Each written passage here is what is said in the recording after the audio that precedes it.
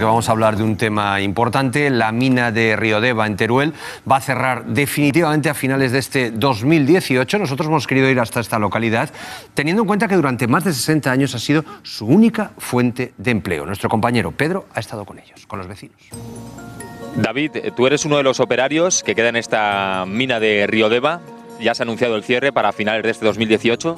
Sí, exactamente. Ya la empresa comunicó al Ayuntamiento de Riodeva el cierre de la empresa. Eh, fue haciendo despidos durante todo este año y bueno, y lamentablemente nos dice que el mes que viene terminará de cerrar eh, esta mina.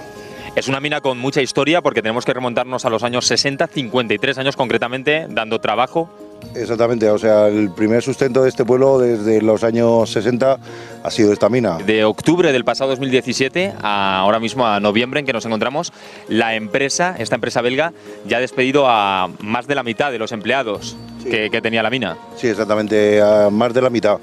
Eh, los ha ido despidiendo continuamente como un gotero hasta ahora últimamente los últimos despidos que han habido. De hecho, ahora actualmente la plantilla se compone de dos operarios, tú eres uno de ellos, y tres que están en oficina. Exactamente, quedamos dos operarios, uno para cargas que soy yo, para los stocks, y tres de oficinas y otro más. Me gustaría también compartir con los espectadores porque estos últimos días, ¿cuál está siendo vuestra actividad diaria? ¿Cargar los camiones no con la materia prima que tenéis? Exactamente, ya con los stocks que quedan, cargarlos y ir vaciándolo todo ya. En abril de 2017 es otra fecha clave porque es cuando la empresa empezó a anunciar el posible cierre que se va a materializar ahora en diciembre tras perder a ese cliente ¿no? de Sagunto que estaba relacionado con el sector automovilístico. Sí, exactamente. Eh, la empresa, a, consecuencia de perder este cliente, ya hizo unos despidos en su momento, recontando a la plantilla eh, de tres turnos a dos turnos. David, precisamente aquí querría que me explicases un poco el proceso, ¿no? Porque tenemos esas estanterías, que es la zona de secado del caolín. Sí, exactamente. Aquí ya es en la zona final del último mineral, eh, que es el caolín se prensa y se, y se deja secar durante varios meses para, para, luego venderlo. Como estamos viendo, ¿no? la mayoría de esas estanterías están vacías ya, por supuesto, por ese descenso de la actividad debido al cierre. Sí, esto ya hará unos tres o cuatro meses que, que se ha ido disminuyendo, eh, porque como ellos ya sabían que iban a cerrar, lo han ido recortando ya.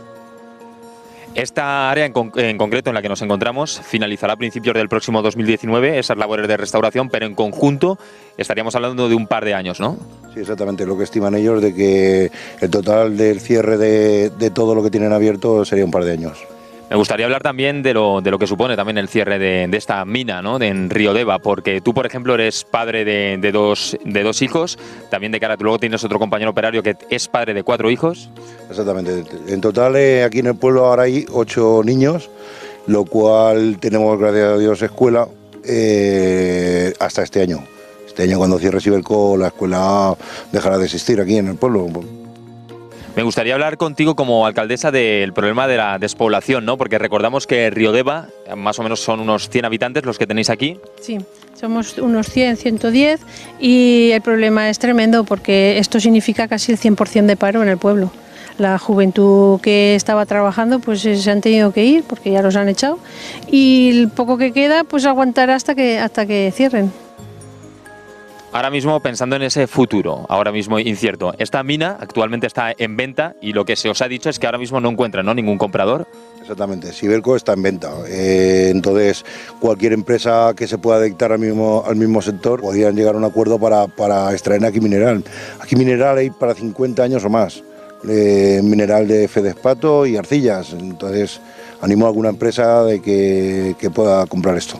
Pues esperemos que escuchen esas palabras y que se ponga solución y también encontréis un nuevo eh, nicho laboral también aquí en Río Deva, todos los operarios sobre todo y toda la población en, en general. Muchas gracias. Muchas gracias a ti.